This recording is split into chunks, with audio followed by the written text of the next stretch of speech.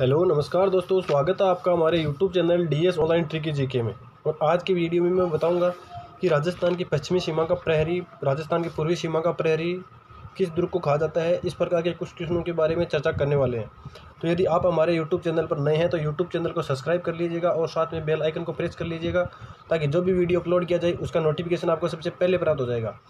तो दोस्तों, करते हैं बात। हमारा पहला क्वेश्चन क्या है? हमारा जो पहला क्वेश्चन वो है कि राजस्थान की पश्चिमी सीमा का प्रहरी किस दुर्ग को कहा जाता है? राजस्थान की पश्चिमी सीमा का प्रहरी किस दुर्ग को कहा जाता है? तो इसका राइट आंसर क्या होगा? इसका आंसर हो जाएगा जैसलमेर दुर्ग को। दूसरा क्वेश्चन है कि राजस्थान की उत्तरी सीमा का प्रहरी किस दुर्ग को कहा जाता है?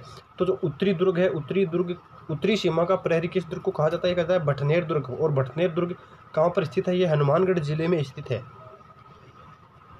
अब करते हैं पूर्वी सीमा की बात। तो पूर्वी सीमा का प्रहरी किस दुर्ग को कहा जाता है? पूर्वी सीमा का प्रहरी लोहागढ़ को कहा जाता है। लोहागढ़ दुर्ग भरतपुर में स्थित है और लोहागढ़ के दुर्ग का निर्माण 1733 ईस्वी के अंदर 1733 ईस्वी के अंदर महाराजा सूरजमल के द्वारा करवाया गया था।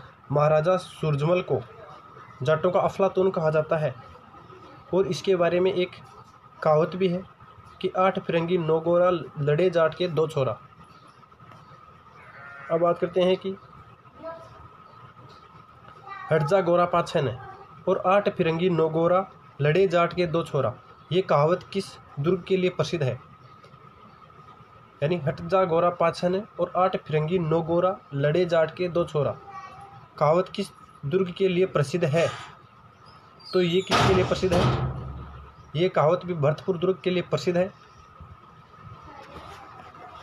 अब बात करते हैं कि राजस्थान का जो दक्षिणी सीमा का प्रहरी है, या प्रवेश द्वार किसे कहा जाता है? तो राजस्थान के दक्षिणी प्रवेश द्वार किसे कहा जाता है? चित्तौड़गढ़ को। राजस्थान का दक्षिणी प्रवेश द्वार किसे कहा जाता है? ये कहा जाता है चित्तौड़गढ़ को। भारतीय मूर्ति कला का विश्वकोश किसे कहा जाता है? बहुत इंपॉर्टेंट क्वेश्चन कि भारतीय मूर्ति कला का विश्वकोश किसे कहा जाता है? विजय स्तंभ को। किसे कहा जाता है? विजय स्तंभ को कहा जाता है। अब बात करते हैं अगले की। कि राजस्थान का एकमात्र दुर्ग जिसमें खेती होती है, राजस्थान का एकमात्र दुर्ग जिसमें खेती होती है चित्तौड़गढ़ दुर्ग। चित्तौड़गढ़ दुर्ग सबसे बड़ा लिविंग फोर्ट भी है। चित्तौड़गढ़ दुर्ग सबसे बड़ा लिविंग फोर्ट है, जहाँ पर क्या ऐसा खेती की जाती है। इस दुर्ग के अंदर इसकी जो चार द्वारी है, उसके अंदर खेती की जाती है। अब बात करते हैं कि मिट्टी का किला किसे किस ज़िले में है तो मिट्टी का किला किस ज़िले में है और किस किले को कहा जाता है? तो भरतपुर के किले को मिट्टी का किला कहा जाता है। इसे अभेद्य दुर्ग भी कहा जाता है। इसे अभेद्य दुर्ग भी कहा जाता है।